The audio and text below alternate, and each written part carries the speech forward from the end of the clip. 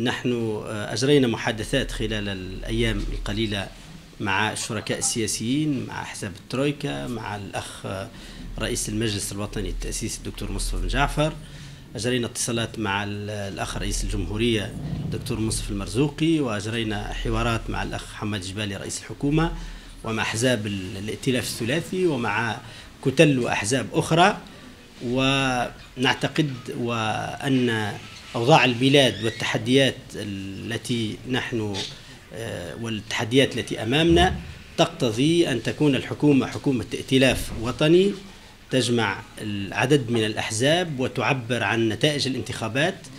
وتضمن بالتالي السند والدعم السياسي وأن تكون هذه الحكومة حكومة ائتلافية فيها كفاءات من الأحزاب السياسية التي اختارها الشعب لقيادة هذه المرحلة. نحن ما زلنا ما زلنا بصدد آه، استكمال هذه المشاورات لإعلان مواقف مشتركة ربما من هنا إلى آه، معناها ساعات أو يوم أو يومين وهذا هو الخيار الذي نراه أفضل وتقتضيه مصلحة البلاد. الموضوع ليس ضد أو مع، نحن نرى أن مصلحة البلاد تقتضي وجود حكومة قوية مسنودة بالأحزاب البرلمانية وحتى بغير الأحزاب البرلمانية وتحظى بأغلبية داخل المجلس الوطني التأسيسي وهذا لا يمكن أن يتوفر إلا في حكومة ائتلافية فيها كفاءات من هذه الأحزاب.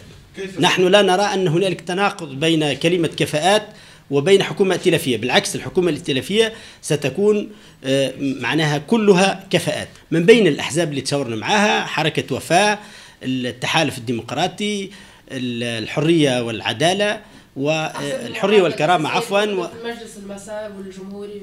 حصل التشاور معها سابقا هي لا ترى نفسها في هذه الحكومة. الأخ حماد جبالي هو الأمين العام لحركة النهضة ولا يزال الأمين العام لحركة النهضة ونحن متمسكون به وهو من رموز وقيادات الحركة وهو رئيس الحكومة. ونحن لا نرى ضرورة ولا حاجة لتغيير رئاسة الحكومة ويمكن أن تكون حكومة ائتلافية بقيادة حماد جبالي. نعم هنالك هنالك وصلت بعض المحادثات إلى بعض المآزق ولكن نحن الآن نقترب من اتفاق نهائي مع هذه الأطراف ولا نرى أن الحل التكنوقراط هو حل المأزق هو مبادرة من الأخ رئيس الحكومة ونحن تفاعلنا يعني تحاورنا معها ولكن نرى أن مصلحة البلاد تقتضي وجود حكومة قوية مسنودة بمجلس وطني تأسيسي منتخب وبأحزاب آه، يعني معبرة عن إرادة الناخبين من خلال صناديق الاقتراع حتى تستطيع أن تشرف وتقود المرحلة ما بقي من المرحلة الانتقالية. أنا قلت لك ولكم جميعا نحن مع حكومة ائتلاف تجمع مجموعة من الأحزاب المنتخبة تعمل على تحقيق أهداف الثورة.